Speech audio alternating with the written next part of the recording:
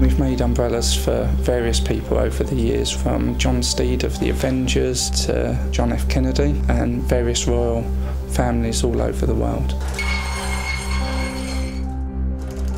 We have our standard lines, but then we also offer a full bespoke service. People might want an umbrella depending on size, or they want a particular colour or style to match um, an outfit or a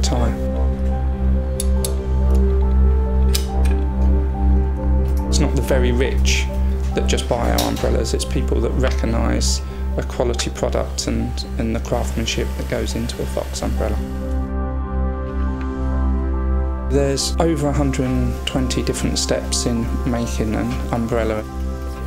You can't do that by machine, it relies on the skill of hand workers. One of our employees, George, has been with us 52 years, so he is a master of his trade.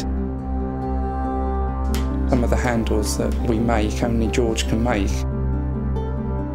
We get umbrellas back 120 years old and all they need is a recover because perhaps the original silk's rotted. If the umbrella's treated right, it will last a lifetime and perhaps generations, be handed down through the family.